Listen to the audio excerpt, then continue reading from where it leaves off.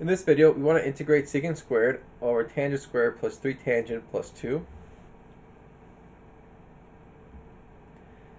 Let's first make a u substitution. We'll let u equal tangent, so du is secant squared. The top becomes du, and the bottom we have u squared plus 3u plus 2, which can be factored into u plus 2 times u plus 1. Now the goal is to get this into two separate fractions. So in order to do that, you have to use partial fraction decomposition.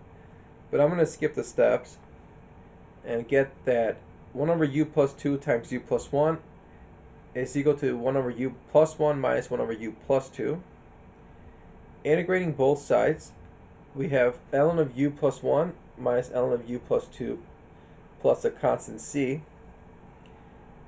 We're going to use a log property, so we're going to bring this under 1 log as ln of u plus 1 over u plus 2. And then we're going to replace u with tangent. So we have ln of tangent t plus 1 over tangent t plus 2 plus c. That's our final answer.